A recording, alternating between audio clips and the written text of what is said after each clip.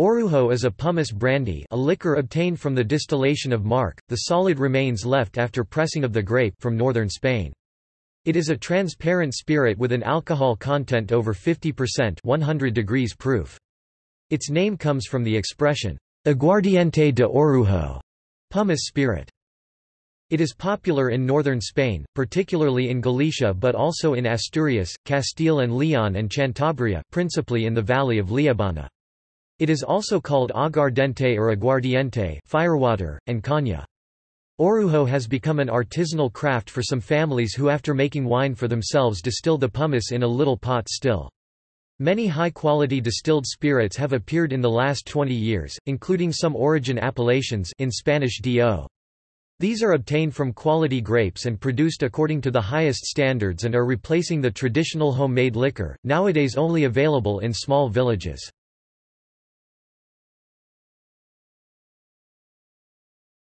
Topic: Production. Orujo's basic ingredient is the residue from wine production. Once the grapes are crushed, the orujos or residue of the grapes can be used to produce the liqueur of the same name. The grape skins, seeds and stalks are fermented in closed vats and then distilled. Stills, called alambiques, alquitaras or potas are traditionally large copper kettles that are heated over an open fire, while a potero orujo distiller watches over his brew. The distilling process in the alambiques takes six hours or more. The copper stills used by Galicians for centuries are thought to have been brought to the Iberian Peninsula by the Arabs, which in fact, never was.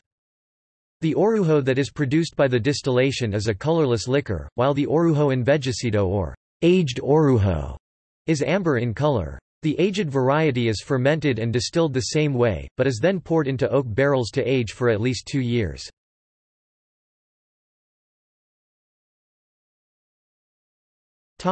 History Orujo is made in the north of Portugal and Spain.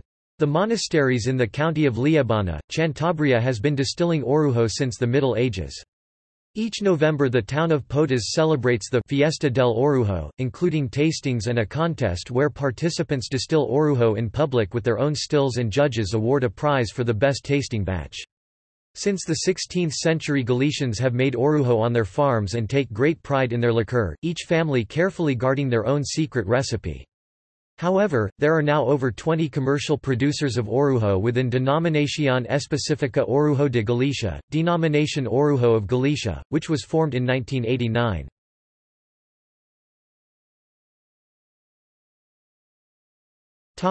Orujo beverages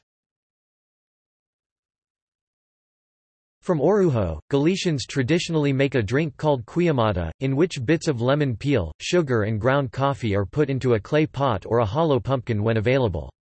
Then the orujo is poured on top and the pot is lit on fire until the flame turns blue.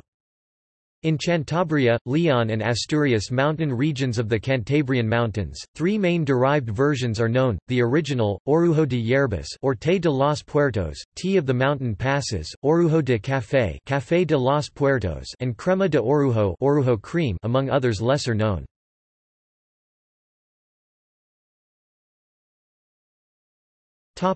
Other versions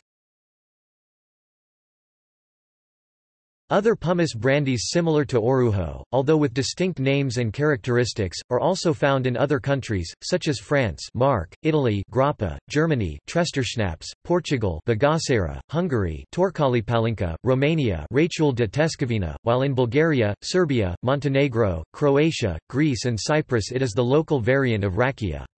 In Galicia itself it is also sometimes referred to as aguardente, and in the rest of Spain as aguardiente.